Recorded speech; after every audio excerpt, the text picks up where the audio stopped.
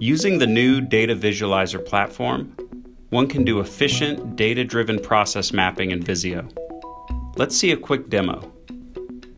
We have published two templates within Excel that you can start from, or you can bring in your own data. Here we provide you with a starter table and you can expand it based on how your process works. I have already expanded this, and in this table I've described my process. I can go to the Design tab and export this table to a Visio diagram. Since I've used the published template to describe my process, I can directly click on Finish.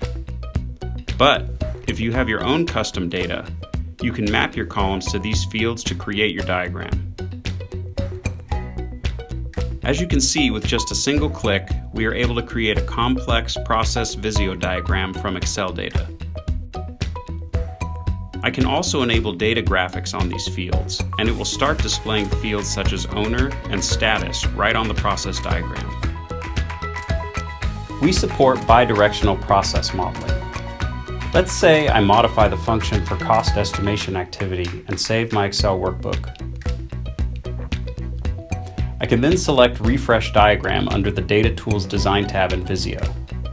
As you can see, the cost estimation step is now moved to the updated function.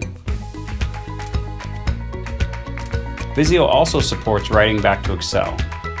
Let's say I add another step called Review Requirements to my process. Once I've modified the diagram, I can simply click Update Source Data to keep my Excel workbook in sync. As you can see, Visio adds a new row in the process map table with all of the relevant metadata.